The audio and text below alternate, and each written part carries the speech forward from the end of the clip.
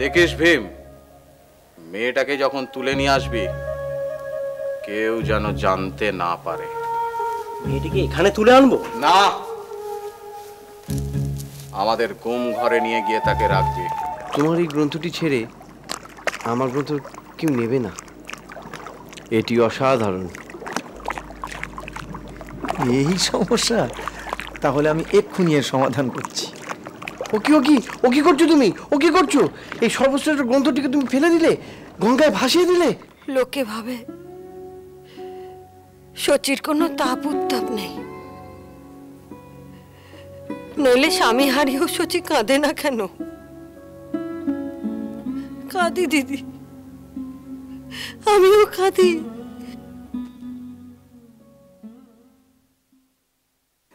এই কি আমাদের সেই দেবপুরুষ যার স্বপ্নাদেশে আমরা নবদ্বীপে এসেছি? কি জানি বাবা। তিনি তো আপন ছন্দে চলে গেলেন। তিনি যদি আমাদের সেই উদ্ধার করবেন ফিরে দেখা তো দূরের কথা কাছে পর্যন্ত এলেন না। হ্যাঁ, এতটা উতলা হোস না মা এতটা উতলা হোস না। রঘুনাথ যখন স্বপ্নাদেশে বলেছেন আমাদের নবদ্বীপে আসতে। এখানে এলে তিনি আমাদের উদ্ধার করবেন। তোর বিয়ের কাণ্ডারি হবেন। তখন নিশ্চয়ই আসবেন। না রে মা ইনি নিশ্চয়ই সেই দেহ পুরুষ না হয়ে যায় না বুঝলি? কিন্তু বাবা আমরা তো বিদেশি। নবদ্বীপে কাউকে চিনি না। কোথায় থাকব কি খাব কিচ্ছু বুঝতে পারছি না। কীভাবে দেবপুরুষদের সঙ্গে দেখা করব কিছুই জানি না। যিনি স্বপ্নাদেশ দিয়েছেন দায় তো তারই। জীব দিয়েছেন যিনি আহারও দেবেন তিনি। তুই দেখিস মা আমাদের ঠিক আহার এবং বাসস্থান জুটে যাবে। কিন্তু বাবা হ্যাঁ? তোমার শরীর যে অসুস্থ। মা আমার জন্য আমার জন্য অত চিন্তা করিস না মা। ওরে মা তোর বিয়ে না দিয়ে আমি মরবো না।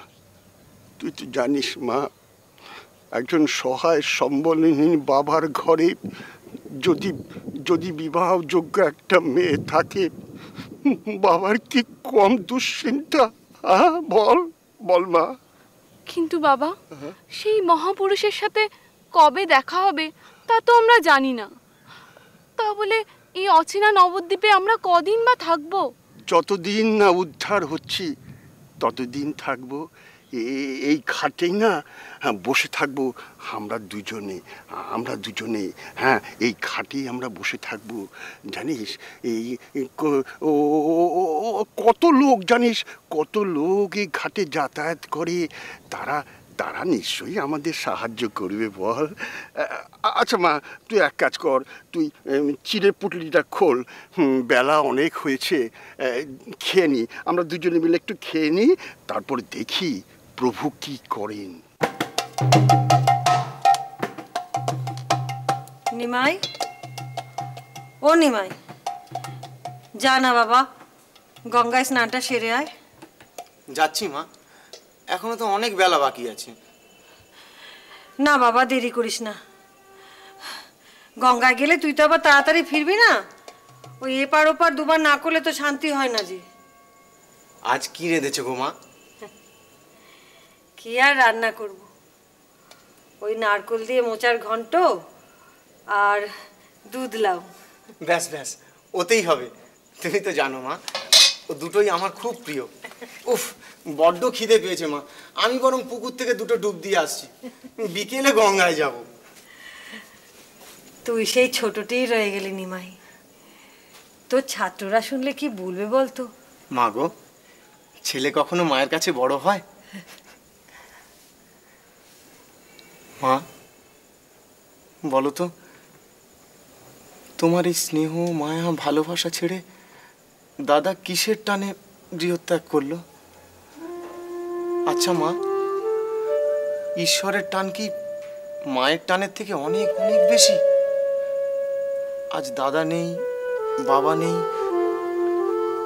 সব ভালোবাসা আমি। থাক বাবা, যারা নেই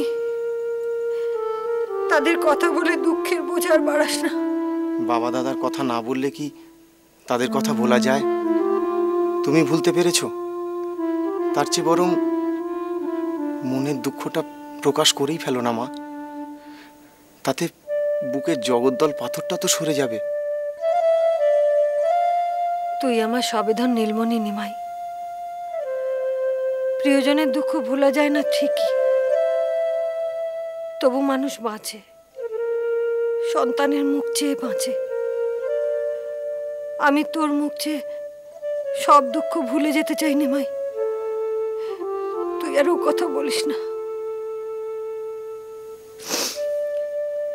হ্যাঁ রে নিমাই, তোর টোল কেমন চলছে বললি না তো?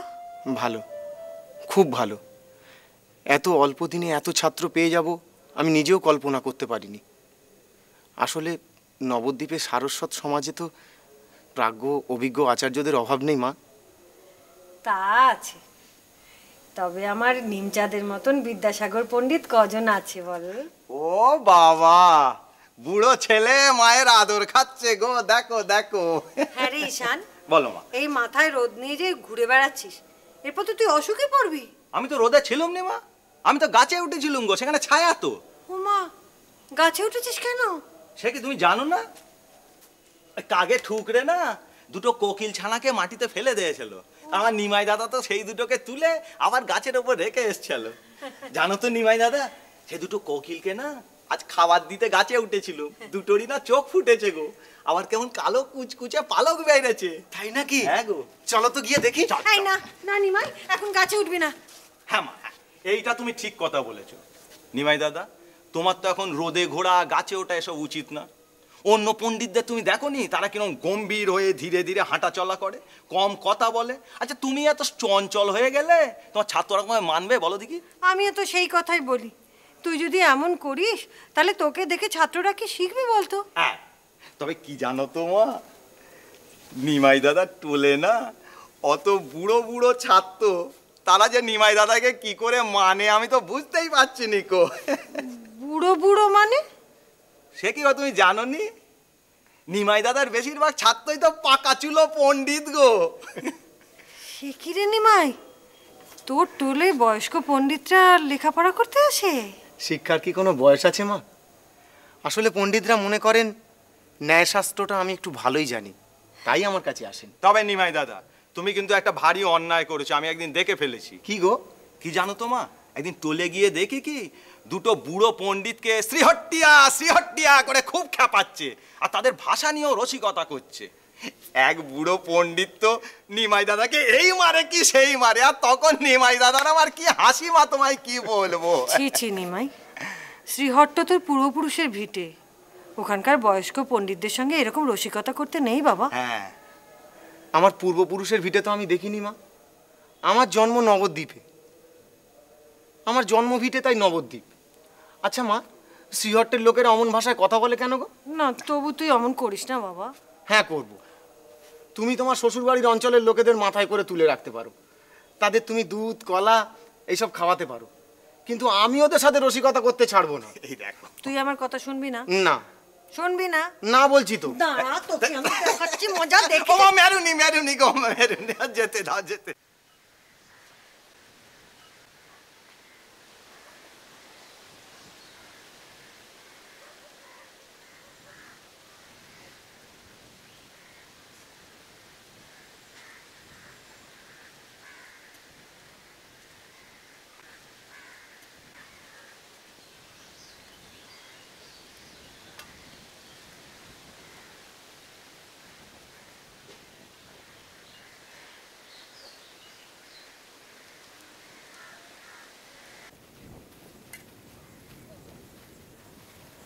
সত্যি করে বলতো লক্ষ্মী শিব পুজো দিয়ে কি বর চাইলি তোদের বলব কেন পাঁচ কান করলে আমার মনোবাঞ্ছা যদি পূর্ণ না হয় তুই না বললেও আমরা জানি নিমাই ঠাকুরের ঘরণী হওয়া আর থাক থাক তোদের আর বলতে হবে না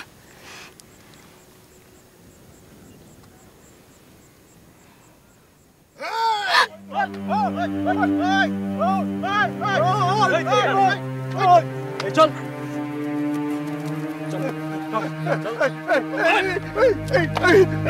বাবা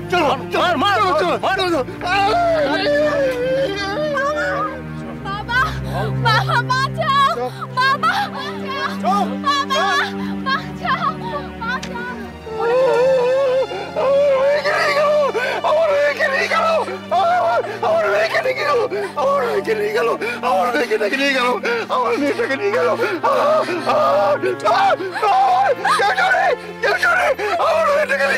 আমার মেয়েটাকে নিয়ে গেল। ওকে বাঁচাও ওকে বাঁচাও বাঁচাও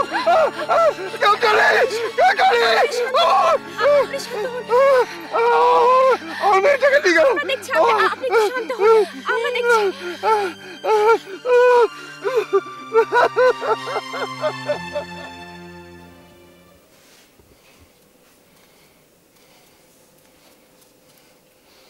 প্রতিরোধ প্রতিরোধ না হোক প্রতিবাদ তো একটা করা উচিত কিন্তু কীভাবে? সেটাই হচ্ছে প্রশ্ন। সেটাই তো আমরা বুঝে উঠতে পারছি না আচার্যদেব। আচার্য দিনের পর দিন জগাই মাধায়ের এই অত্যাচার আমরা মুখ বুঝে মেনে নিতে পারছি না। বিশেষ করে বৈষ্ণবদের প্রতি এই পাষণ্ডদের আক্রোশ যেন ক্রমশই বেড়ে চলেছে। আমাদের ঘর বাড়ি ওরা জ্বালিয়ে পুড়িয়ে শেষ করে দিচ্ছে। মানুষের কাছ থেকে জোর করে অর্থ আদায় করছে। নবদ্বীপের কোনো মেয়ে বই আজ আর নিরাপদ নয় আচার্যদেব। কখন যে কার ঘরে রাত বিরেতে দরজা ভেঙে ওই জগাই মাদায়ের অনুচর কোন মেয়ে বউকে টেনে নিয়ে যাবে তার কোনো স্থিরতা নেই আচার্যদেব। না না এর সত্যিই যদি কোনো প্রতিকার না হয় তাহলে হয়তো নবদ্বীপ থেকে আমি আমার বাস উঠিয়ে নিয়ে যাব। আজ যজ্ঞেশ্বর আমার বাণিজ্যের এখানে খুব ক্ষতি হচ্ছে। ভয় পালিয়ে যাবে শ্রীবাস। এছাড়া কি উপায় আছে বলুন? দেখুন, আমি বৈষ্ণব। আমি তো ওদের অত্যাচারের বিরুদ্ধে লাঠি হাতে রুখে দাঁড়াতে পারব না। আর তাছাড়া স্বয়ং গৌরেশ্বর যখন বেচে বেচে ওই দুই পাষণ্ডকে এখানে নগর কোটালের পদে নিযুক্ত করেছেন, তখন এছাড়া আমাদের কি উপায় আছে। ধৈর্য। আর একটু ধৈর্য ধরো, শ্রীবাস। মন প্রাণ দিয়ে ডাকো শ্রী মধুসূদনকে। আমার মনে হয় শীঘ্রই তিনি অবতার রূপে নবদ্বীপে আত্মপ্রকাশ করতে চলেছেন। কিন্তু ততদিনে যে গোটা বৈষ্ণব সমাজটাই ধ্বংস হয়ে যাবে আচার্যদেব, আজকে বৈষ্ণবরা প্রকাশ্যে হরিভক্তি দেখাতে ভয় পাচ্ছে। শাক্ত, শৈব, ব্রাহ্মণেরা ওই জগাই মাদায় সমর্থন নিয়ে প্রকাশ্যে তাদের উপর অত্যাচার করছে, উৎপীড়ন করছে, বলছে হরির পরিবর্তে হরের নাম করতে।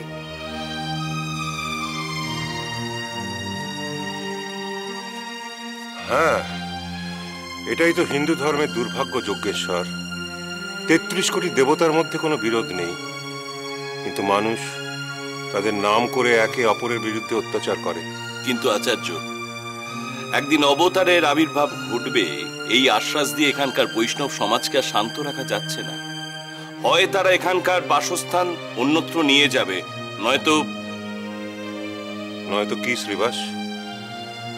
রাজশক্তির সঙ্গে দৈহিক বল দিয়ে লড়াই করবে কি করে? আচ্ছা গৌরেশ্বরের কাছে কিন্তু আমরা এটুকু আবেদন করতেই পারি। যে আপনি ওই নগর কোটালের পর থেকে জগাই মাদাইকে সরিয়ে দিন।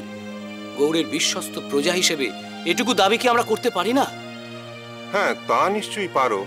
কিন্তু গৌরেশ্বর জগাই মাধাইয়ের চারিত্রিক বৈশিষ্ট্য সবকিছু জেনে তবেই তাকে নিয়োগ করেছেন। এখন তাদের বিরুদ্ধে অভিযোগ জানিয়ে কোনো লাভ হবে কি? তাহলে এখন আমরা কি করব? আমাদের সজাগ থাকতে হবে। জগাই মাথায় লেঠেলরা কারোর ওপর অত্যাচার করলে তার বিরুদ্ধে আমাদের প্রতিরোধ গড়ে তুলতে হবে। যুব সমাজকে জাগ্রত করে তুলতে হবে। শ্রীবাস ঠাকুর এখানকার বাস তুলে দিয়ে অন্যত্র চলে যাওয়ার কথা তুমি ভুলেও মনে এনো না। যে শ্রীবাস অঙ্গন বৈষ্ণবদের সমবেত হওয়া স্থান সেই স্থানের অধীশ্বর যদি অন্যত্র পলায়ন করে তাহলে গোটা বৈষ্ণব সমাজে তার একটা অশুভ প্রভাব পড়বে। না যজ্ঞেশ্বর। আমি আমার মত পরিবর্তন করছি। আমি নবদ্বীপেই থাকব, এখান ছেড়ে আমি কোথাও যাব না। তাতে যদি আমার কপালে কোনো দুর্ভোগ থাকে, তো থাকবে। আচার্যদেব ঠিকই বলেছেন, দূর দূরান্ত থেকে এই বৈষ্ণবদের এখানে বসবাসের জন্য আমাদের আহ্বান জানাতে হবে। শাশ্বত সমাজের পীঠস্থান এই নবদ্বীপ। এখানে বহু সংখ্যক বৈষ্ণব এসে যদি একত্রে বসবাস করতে পারে তাহলে একদিন এই বিরোধীরা আমাদের বিরুদ্ধে যেতে ভয় পাবে। না শ্রীবাস। শুধু বৈষ্ণব পণ্ডিতদের একত্রিত করলেই হবে না। প্রতিরোধ করতে পারে। এরকম মানুষকে এখানে বসবাস করাতে হবে এবং তাদের সংখ্যা বৃদ্ধি করতে হবে। কিন্তু কি করে প্রতিরোধ সম্ভব আচার্যদেব?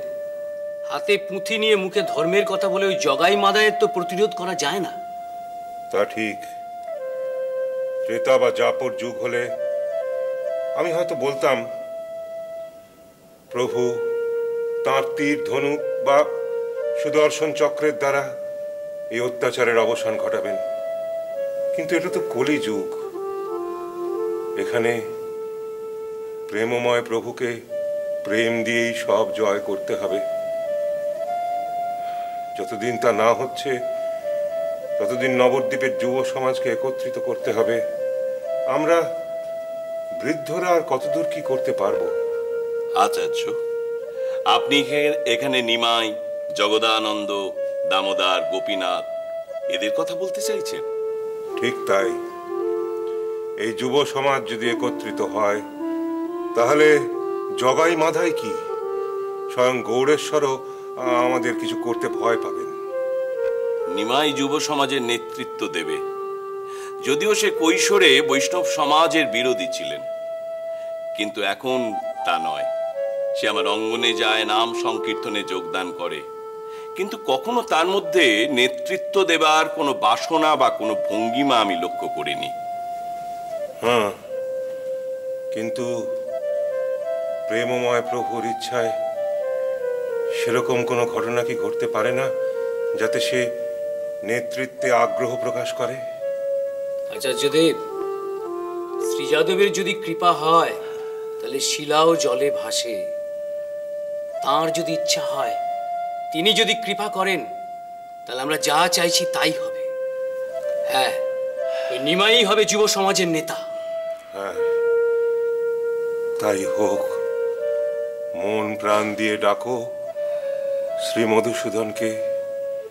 তাঁর ইচ্ছায় সকলই সম্ভব হতে পারে।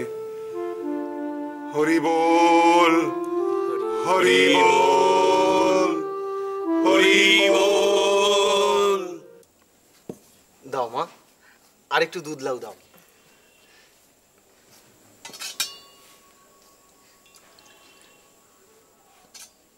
তোমাদের জন্য আছে। তুই খা তো আমাদের জন্য চিন্তা করতে হবে না। যথেষ্ট রয়েছে আমাদের। তা হ্যাঁ রে ঈশান হ্যাঁ বল। তুই এভাবে বসে থাকবি? তোদের কি জনে জনে খেতে বসতে বলতে হবে? এই উঠি মা এই উঠি। জানো ঈশান দাদা আমি তো এ জন্মে অমৃত খাইনি। মায়ের হাতের দুধ লাউ মনে হয় যেন অমৃতের চেয়েও মিষ্টি। এইটা তুমি বড় ভালো বলেছ নিমাই দাদা। আমার মায়ের হাতে রান্না যে একবার খেয়েছে না সে আর অমৃত খেতে চাইবে না কো। থাক আমার প্রশংসা আর করতে হবে না। এবার খেয়ে দে আমাকে উদ্ধার করো। শ্যাম মহোদধি কেমনে বিধাতা? মথি আসে কত কাল কত সুধারসে তাতে নিরমিলা? উপজে গৌর রসা